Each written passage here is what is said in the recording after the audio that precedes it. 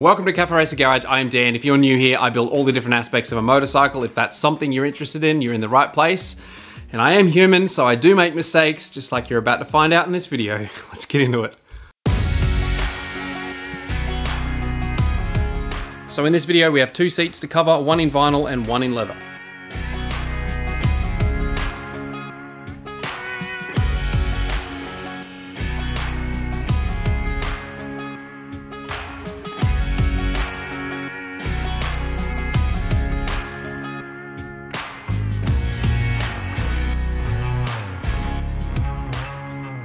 So while I was filming my friend doing the upholstery on these seats, I picked up some valuable things that I wanted to pass on to you. And the first one of those, if you're gonna do this at home, is make sure you make a clear template first and do check marks all the way around the foam and then transfer that onto the clear plastic that you use as your template and then move that onto the material that you use. So do your best to get that template as good as you possibly can.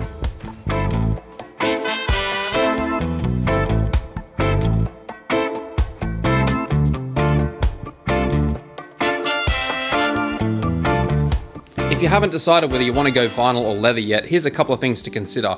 First up, vinyl is man-made, so therefore the consistency and the color as well as texture is always going to be the same. Vinyl is going to be your cheaper option compared to leather, and you also have a lot of variety of colors when it comes to vinyl. I really do love leather and it is very durable, so therefore it is going to last probably a lot longer, but it does end up getting a little bit cracked and hard over time if you leave it out in the weather. But leather can get quite expensive, especially if you want a specific color, because sometimes if the upholsterer that's doing the work or where you buy your product from may not have that color, so you may have to buy the entire hide. And you can't even use the entire hide because some of the edges can be a bit wrinkled or you can have scars, which means that that part is completely unusable. But leather does look and feel amazing. No matter what decision you make when it comes to fabric, you have to make sure you use quality foam because if you use cheap quality foam or really soft foam, whatever you use is going to get destroyed a lot faster. And that's why I only use the pink foam that I do because it's the perfect density to have a comfortable seat as well as something that's not too soft that's going to destroy your fabric over time. I actually have three different thicknesses of this foam available on my website for anyone who's interested.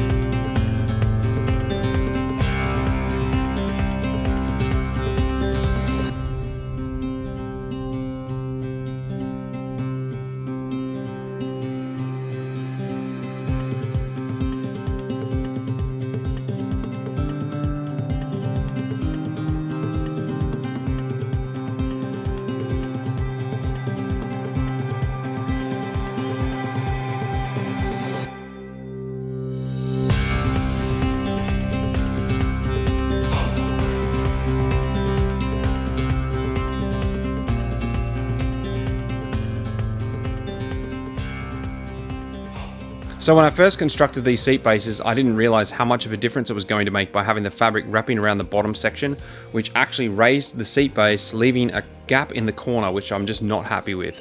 So the leather and the vinyl both have the gap and they've been fully upholstered and they look amazing, but unfortunately, I'm gonna have to pull them apart to get rid of that gap and get them reupholstered.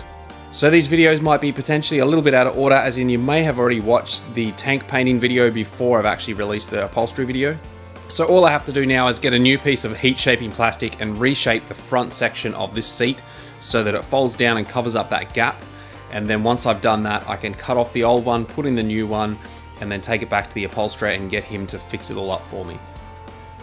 I really hope by me showing you my mistakes helps you with your build so that you can go on to make different mistakes and not the same ones that I make. Quadlock is the strongest mounting system for your mobile phone and that makes them perfect for motorcycles. I've been using Quadlock products for many years and I absolutely love them. You can change between vertical and horizontal within a split second, giving you the ability to use maps and having a fully charged battery by the time you get to your destination. Quadlock have cable and wireless charging options depending on what you need, and they even have a kickstand so you can watch your favorite YouTubers wherever you go. Be sure to use the link in the description so you can take advantage of the 10% discount that QuadLock has passed on to me to give to you.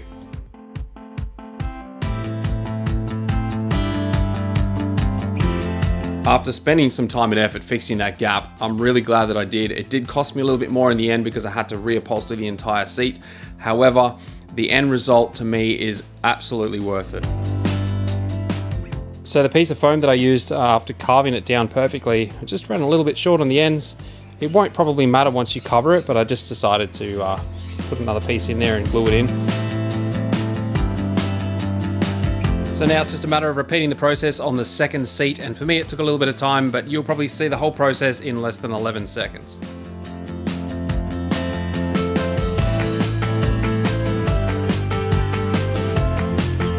So thank you to Crumb and Trimmers as well as my friend Jam that works there and put these seats together for me. I couldn't be happier. If you want to see a few more upholstery videos on some motorcycle seats, I'll put a playlist right here.